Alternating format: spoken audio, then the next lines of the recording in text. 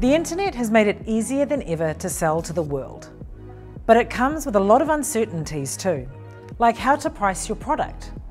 Unlike selling online in New Zealand, all of a sudden you need to think about things like currency fluctuations, compliance regulations, and cultural differences. We know pricing is nothing new, but the decisions you make when tackling online sales channels in a different market are a key part of whether customers actually buy your product and if you walk away with a profit. Even if you think you've nailed your New Zealand pricing, you'll probably need to rethink it for your overseas market. If you're selling online overseas, it's going to cost you just to get your product to the right country. Returns will be more expensive, and there are a bunch of other hidden costs all over the place.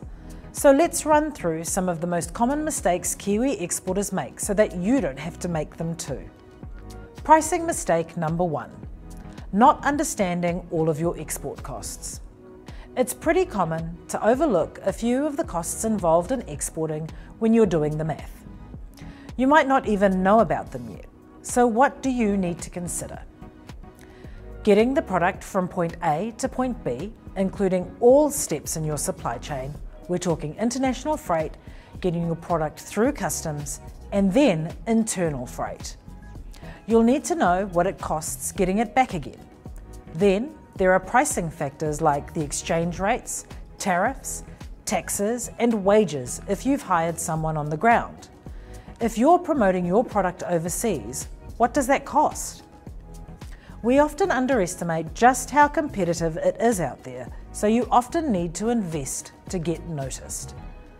Think about agency costs, ads, and special promotions.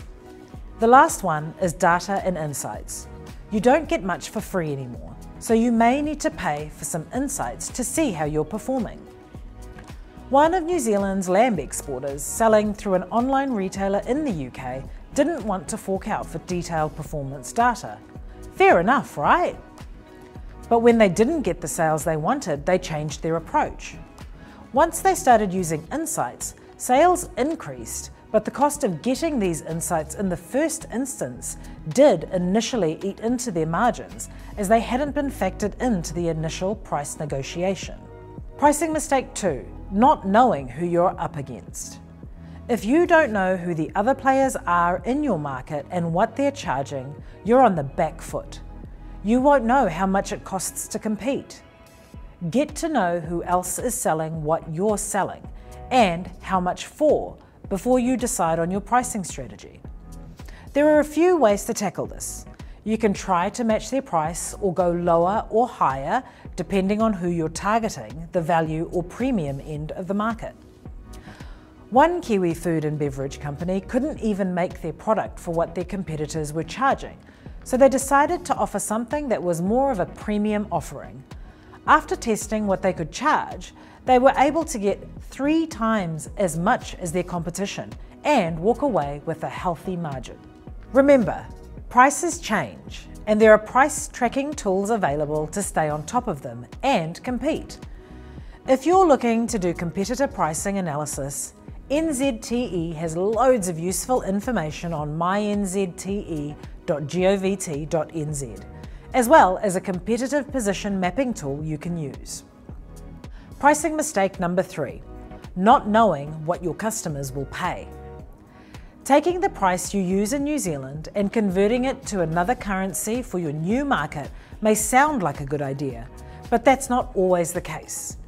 It shouldn't be a stab in the dark either. You'll need to know what your competitors are charging and what your customers are prepared to pay to price your product, and make sure you're covering the costs of selling it. Kiwi exporters often make the mistake of underpricing their product. New Zealand exporters who want to get a quick read on how much consumers in other markets are prepared to pay for certain items overseas can use simple tools like the Big Mac Index, for example. A quick Google search can pull up comparative data on how much common goods and services cost in one market versus another. The fact your products are from New Zealand can win you some points, but they'll still need to stand out on their own. What do customers in the market value and how does this translate to what they're prepared to pay for your product? Look for competitive products or similar products to see what prices are being charged and how a customer might value one over the other. For example, if you're a B2B and in tech, see if your competitors in the market have their introductory pricing on the website. Pricing mistake 4. Prices aren't static. Pricing doesn't have to be set in stone. If you've got an opportunity to play with prices, depending on what channel you're selling on, great. Sometimes more dynamic pricing can help you to get a foothold in the market early on. Those initial sales can build trust in your brand, encouraging more sales. It might involve a bit of testing to see which prices work and getting feedback from customers. Sometimes you can also play with pricing indirectly by creating bundles with more attractive costs or other promotions. You don't have to be an economist to get your pricing right, and you may not get it right the first time.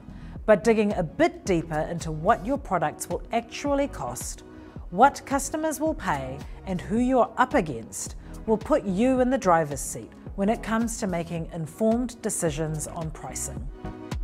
For more information and help on exporting, please visit MyNZTE.